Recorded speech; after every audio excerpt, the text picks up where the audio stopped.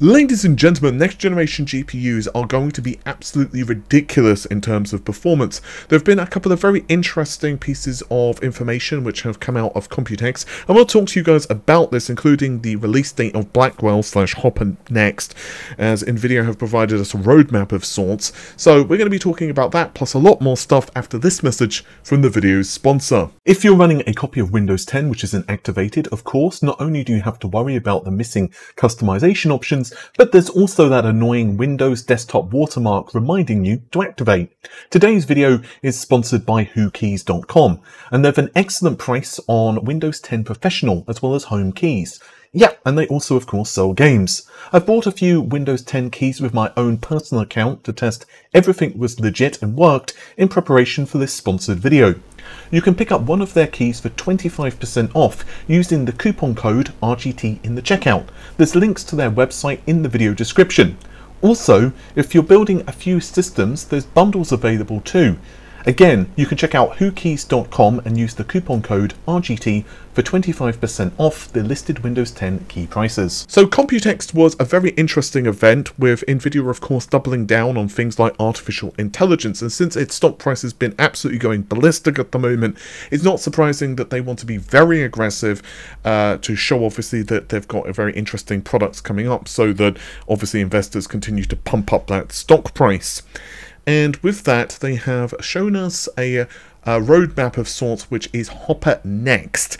Now, Hopper Next is basically Blackwell, and to my understanding, anyway, from what I've been told with multiple sources, as well as some other leaks online, um, this is basically going to be bifurcated, uh, which is not too surprising. We've seen it before, of course, from NVIDIA, uh, across different product segments. So, for example, we will see RTX 50 cards based on G, uh, GeForce basically, which of course are going to go into you know your desktop PC, uh, mobile um, laptops, that type of thing, and of course we will also see HPC implementations, which naturally will be for AI and all the other stuff that uh, Nvidia are absolutely just making a killing at at the moment. For um, you know the the profits for those cards are just absolutely just ludicrous and we can see that the release window at the moment is 2024 and according to Nvidia it will offer another quote massive leap in performance.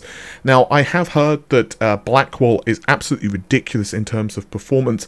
I have actually been pumping my sources from uh, some additional information. I'll probably release that over the next several days because I want to try and get a bit more information before I release the video for obvious reasons. But um, yeah I think that Blackwell will be very impressive in indeed. I think that NVIDIA are going to be on a very good trajectory actually over the next uh, several generations of products. It's going to be very interesting to see how AMD also counter. Obviously, RDNA 4 is also going to be releasing almost certainly next year. I think it's probably going to be the latter uh, portion of 2024, excuse me. So it's going to be very interesting to see what the actual performance targets of RDNA 4 are when it finally launches. Um, obviously, RDNA 3, it just didn't seem to hit the performance targets that AMD were, um, you know, telling us about. So it's going to be very interesting to see how all of that plays out, especially given that have been a couple of other very intriguing things that have been going on at Camp NVIDIA. One of which, um, so for quite a while now, we've been hearing reports, even back in March, and I believe even before that, that Intel are being considered uh, by NVIDIA to basically produce their chips. Now, this is basically Intel's foundry services. And very interestingly, Jensen has actually commented to say the test chips in Intel's foundries are actually looking really good. Now, to my understanding, Blackwell is still being produced on TSMC's 3nm process. I actually leaked that myself, and then kopite7kimi has basically said pretty much the same thing, that this is what seems to be happening. Now, this, however, however, does not necessarily mean that Intel could not be used by NVIDIA for specific products. Um, for a number of reasons. I mean, at the moment, Nvidia are just selling, well, let's just say they're selling a high number of cards. Um, so I would not be surprised if they did decide to tap into it, depending on the capacity of TSMC and whether Nvidia feel that they need that additional capacity or not. It's going to be very interesting to see what this would look like if Intel are leveraged uh, because obviously that would be kind of a win from Intel. In some ways, obviously they are also kind of competing with Nvidia with the uh, with their own product lineups. obviously, we'll have Battlemage, which is going to launch uh, probably around the early Q2 portion of next year as well.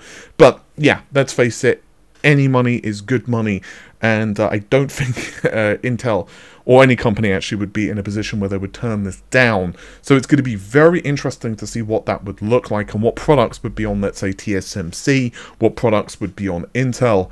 But continuing on the subject of Computex and Nvidia and potentially AMD as well, there was a fascinating prototype which was shown off during Computex. Now I believe the original photos were taken by WCCF Tech, so of course I'll give them credit and provide a link of course in the description of the video.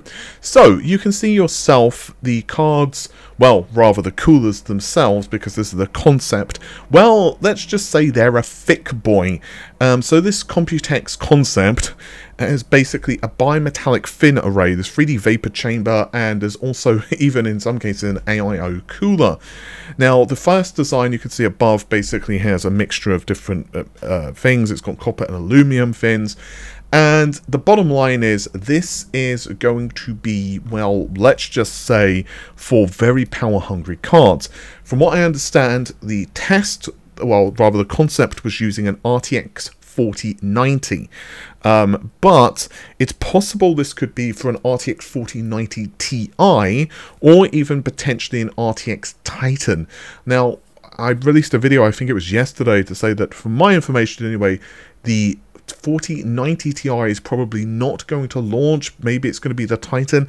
But honestly, it's so difficult to know with Nvidia. They they can make decisions pretty much the last minute, and obviously this cooler theoretically could also potentially work with the Titan as well, depending on a number of things. Uh, obviously, it would depend on, for example, the PCB and stuff like that as well. Um, I'm going to be very interested to see, though, what the next generation of cards are going to be like. Obviously, at the end of the day, you can't just have a card which just scales infinitely in power consumption. I mean, jokes aside, you can't just have, like, you know, the RTX 5090 like, choke down a thousand watts of power, uh, because obviously there are things like cooling concerns and this card is just absolutely ridiculous. True story, I'm working on a bit of a project, a fun project, uh, which should be out in the next several days actually on the channel. And uh, yeah, I basically literally could not put a 4090 into one of my cases. I quite literally had to just take the uh, RTX 4090, uh, sorry, I had to take the entire motherboard out and just like plonk it on the side. The 3080 I had and another card, they were fine. Um, and I think the 6800 XT also fit. But uh, the 4090 is just such a chunky boy. It just, it was like a centimeter, like half an inch out at most. So obviously there are concerns with these next generation cards, and well, it's going to be really interesting to see how uh, the 5090 and so on are actually called, what type of power consumption, whether it's going to be 450 watts, 500 watts, or something like that. And one final story while on the subject of uh, tech stuff for PC. I'm just going to go over this really quickly. Um, basically, SK Hynix have announced new HBM3E memory. This is up to 8 Gbps. So this basically is eight times faster than the first generation of uh, of uh, HBM, and will represent also a 25% increase in speed over HBM3's original adoption. I'm going to read a quick quote from SK Hynix. Amid growing expectations that the memory market will start to recover from the second half, we believe our industry-leading DRAM technology, proven again through mass production of the 1BNM process this time, will help us improve earnings from the second half. This, by the way, was from and I'm probably going to mispronounce this and I apologize but from Jongwon Kim and this individual is the head of DRAM development over at SK Hynix. I'm probably as they would say preaching to the choir with many of you but obviously at the end of the day you can have as much compute performance as you would like, but you also need to, as they say, feed the beast. And memory bandwidth, latency, caching, and so on are just as important as, you know, the megahertz on the GPU or you know the number of CUDA cores or stream processors or whatever. And it's not just a case of you need the memory to be well a large quantity, but it also needs to be done in a way that uh, well, let's just say it's a very complicated topic. So it's going to be kind of a race, and it's definitely a case where we're seeing some interesting events going forth. Oh, I also want to just mention this real quick. Um, uh, this is like a bonus thing that I wasn't initially intending to throw into the video, but I just wanted to mention uh, in case you're, um, you know, have kind of had a social media blackout or something like that and you haven't seen it, Ratchet and Clank is coming to the PC.